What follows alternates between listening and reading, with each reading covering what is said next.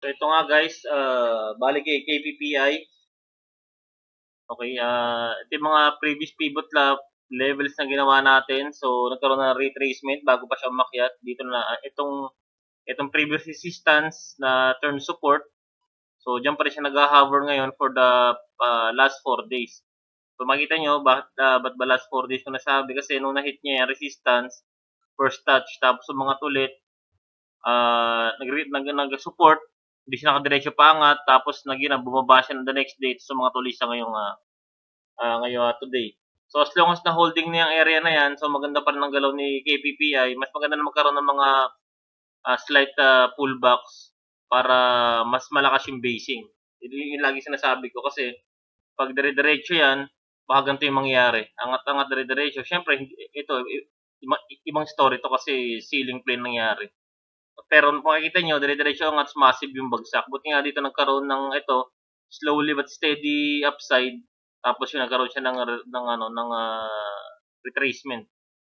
Actually, uh, slight pullback lang naman guys. So, ayan. Dat natin itong area na to. Itong zone na yan. Yan na siya nagkaroon ng uh, slight pullback. So, tingnan natin ma-hold yan. So, syempre, uh, hopeful naman tayo na magkaroon ng mas magandang uh, ano, hindi hindi hopeful sa trade guys ah. Uh, magkaroon ng magandang uh, uh, movement syempre. Yung mga tinitrade natin. Tapos secondary resistance natin is ito. Okay, magandang price range yan. 12 to 12-13% hanggang sa week, hanggang sa last week na yan. Okay? Last candle week guys. So, ayun yun. So, next na support natin, if in case break yan, so, ito na titingnan ko, ito na titingnan ko dyan, kay KPPI. So, congrats sa mga sumakay kay KP, uh, KPPI, when it breaks 10 pesos, yung talaga significant level. So, sana nakapag-trim out na kayo ng konti. Pero kung dito kayo naka, nakasalo talaga, so, magandang salo yan. So, malaki-laki na na yun na i-lock and profit nyo sana. No corporation. Tingnan natin. Eh, nagkaroon ng retracement. So, na kita nyo naman guys, yung, yung pivot levels na break na, na pilat natin, hindi ko na babaguhin. Nagkaroon ng price reaction dyan. So, normally pag ganito, pag andun pa rin naman sa range na, tinin na movement yung price, doon pa rin nagbumove sa range, hindi ko tinatanggal yung mga pivotal levels natin. Naya ko na maglaro dyan yung stock. So, dyan ako mahanap ng mga potential entries natin. So, okay now, as long as na ma-hold niya yan, tingin ko okay sa kanya, pero hindi ko gusto yung price action na pinakita. Tatlong try yan at this uh, level, at this market structure, price structure. So, ibig sabihin, uh, it shows na may strength dito sa area na to yung mga sellers. So, pag ganyan na, uh, sana nakapag-trim out na kayo, tapos check na na kayo ng mga lower level kung gusto nyo talaga ilaruin yan para bumaba yung AEP natin. Para mas maganda yung entry natin sa kanya. So, tayo kay Bloom guys. Kay Bloom. Ayan, ito yung kay Bloom. So, tanggalin natin yung ano. Ito nga yung previously B pattern na, na in-explain ko kay Bloom. So, pero rin yung ano natin na pattern reversals. Meron tayong mga uh, how to trade pattern reversal guys. So, panoorin nyo yun. So, kay Bloom, sa daily, natin, sa daily ko na ito ipa-plot. Okay? Again, I'm uh, most of the time, mas na ko talaga yung present candles lang. Hindi tumitingin sa past, can, uh, past prices. So, pero importante rin yung guys. Hindi ko sabi importante yun. So, yun lang yung para sa akin. RSI, I don't, hindi ko gusto kasi uh, kung mapansin nyo, every time na itatouch niya yung 50, nagre-retrace na. So, parang uh, para sa akin, mahina na ang upside momentum nito ni Bloom. So, pero ang, ang positive note naman dito, from this uh, V pattern, di po ulit bumababa. Kaso para equal low na yung ginawa nito. Malakas to na level eh. Mapansin nyo guys. Ayan. Ano siya, uh, inline siya sa mga previous uh, movement niya sa previous price structure. Kaso ang tumutulak dito is 200 EMA talaga. More or less. 200 EMA, syempre with confluence sa price structure. Ito ulit, so matagal-tagal niyang ginalawan yan simula na nag-dip siya dito. So from October 1 hanggang 2 weeks, hindi na siya gumagalaw. So dapat na hold niya yan guys, else baka ito na yung zone na anuhin niya, na naipin niya susunod. Siyempre, ayun na natin bumaba yan kasi pag pag yan nabasag pa, alam na natin kung susundin yan. Ano sa titingnan ko dyan, ito, itong retrace ng ah, breakout ng B pattern. Okay, para sa akin B pattern yan guys. Ah, iba't iba, iba't iba rin tayo paano tumingin ng B pattern. Tapos ito. So, yan lang kay Bloom. Ah, ang ngayon ko lang dito yung RSI niya so hindi siya nagko-confluence sa ano sa I mean hindi siya nag gumagalaw ayon sa gusto natin. Kasi gusto ko ma-breakout yung 50 at least yung middle ang RSI bago makapag ah, push through yung price. So, Ali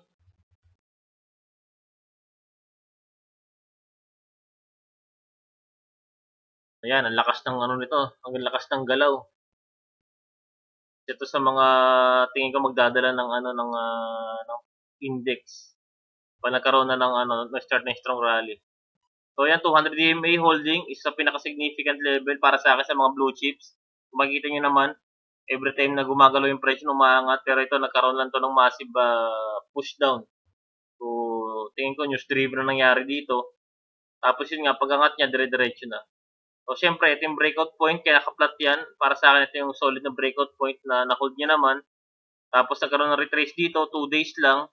Parang nag-post lang siya ng 2 days, tapos yun, breakout agad. So, ang good move to para kay, ano, para kay Ayala, kay Ayala, kay Ayala. So, hopefully, gan, na, sana ganun ulit mangyari dito. 3% ang next, uh, ang uh, next na pinipig nito na, ano, more or less 3% na resistance. Okay? So, syempre, resistance zone ang tinitingnan natin dyan, guys.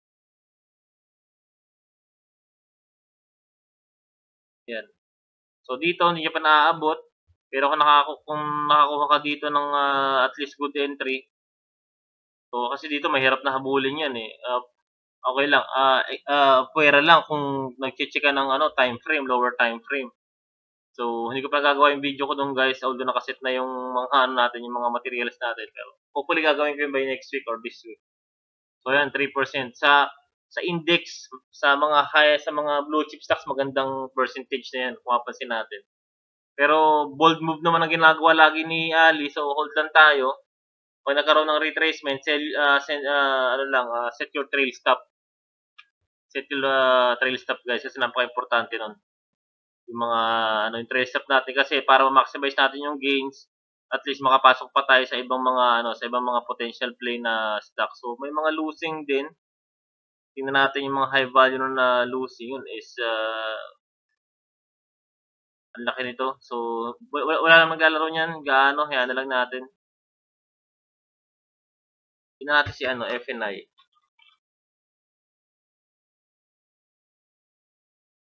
Ito yung mga, ito kasi yung mga nung nakaraan eh, mga high value. Okay? Kasi 68 million, significant pa rin yan. Simula na nagkaroon ng uh, nickel play, hindi na yung bumaba sa ano, sa range ng value na yan.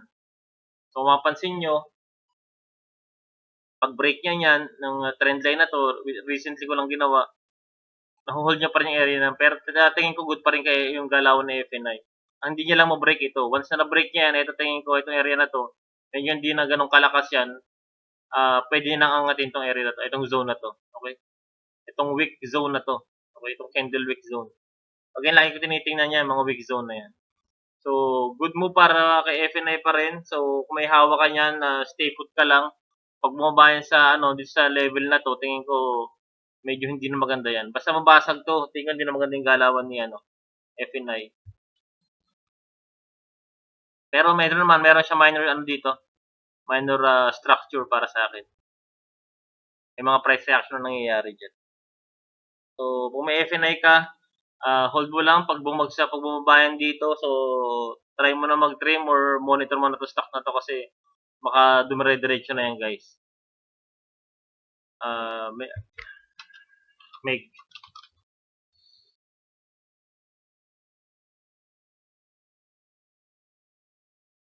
Ayan, si Mega World. Uh, continue pa rin yung pagtaas, slowly.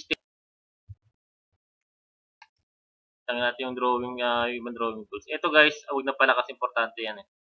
At least para sa ito guys, uh, yan, yung mga yung pivotal points na drawing natin hanggang pataas. So, nagkakaroon ng mga price reaction dyan. So, hindi naman na, uh, ano naman, uh, although Although hindi pa ganun kalakas yung upside ni Meg, pero steady yung pagangat niya. Ito, nung, nung nabasag niya to, itong pinakamagandang level, okay? Para sa akin na binasag niya. Itong zone na to. Yan. Nung nabasag niya yung zone na yan, okay, tsaka hanggang dito kasi, kaya, mapapansin yung mga blue chips kasi, yung volatility nila hindi ganun kalakas. Kaya pag pinaplot ko sila, halos magkakalapit lang talaga. Kasi, uh, importante para sa akin yun kasi para hindi tayo nagugulat na ba't ang igsi pala nung level nagre-retrace na. Kaya kung alam mo, kung tatanggalin mo to, let's say for example, para lang makita mo yung big levels niya, yung big uh, volatility area niya, okay din naman yan. Pero syempre, para may uh, para para mas may ano ka, may early hedge ka lagi. Itong mga prices na to, dapat napa-plot natin yan. Ito minor lang to, pero makikita nyo naman, itong minor zone na to, actually with confluence sa 50% niya to, hindi na bumaba yung price mula nung nag-gap niya. Nung, kasi ito gap yan eh. Mula dito hanggang dito gap price yan. Tapos yan ah. Dito siya nagkakaroon ng reaction sa area na to. So, ayun yung plotting natin nung kanina. Kasi may nagre-react yung mga price dyan. Kasi kung quick play ang hinahanap mo, lalo sa mga blue chips, tapos hindi mo sinesh yung mga minor, mga mga minor uh, major levels na yan, yung mga areas na yan, baka maboring ka sa kanila kasi blue chips mabagal gumalaw yan. Pero kung prepared ka naman do, nakita mo ah, may mga slight reversal talaga na mangyayari. So okay yun, at least hindi mo na kailangan magano, mas i-stress yung sarili mo na ba't ang tagal umangat. So at least uh, i ano i ano inuna ko lang guys sa uh, additional tip lang natin. So Meg, uh, maganda yung ano price action na ginagalaw ginagalaw niya uh, steadily umakit siya pataas. So sana dire-diretso na index natin kasabay niyan. So daran si Aba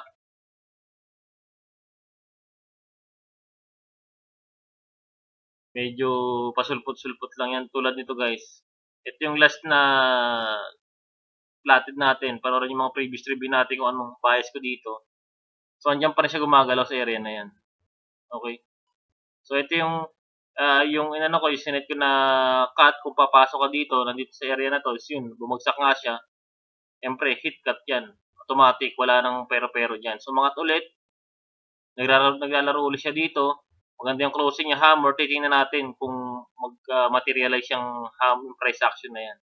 So, if in any case mag-materialize yan, ito, may dadaanan kayo ng resistance sa 6%.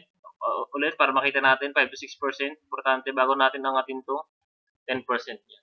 So, kay ABA, uh, tingnan natin, maganda yung ginagalaw nito, price action-wise. Tapos, uh, sige, lagyan natin ng trend line. Ayan. Okay. So, hopefully mag-hold dyan. Kasi, channel forming nga to eh. Kita natin. Yan. Channel ang binubuo niyan eh. Oh. Forming channel. So, magmamaterialize yung channel na yan guys. Tapos meron siyang mid part. Kung baga para kung sa Bollinger Bands, may upper band, may lower band ka na. Tapos meron kang MA sa gitna. So, let's see kung ganyan yung mangyayari sa kanya. So yun lang guys, uh, happy trading ulit mamaya. Malapit na naman matapos yung week.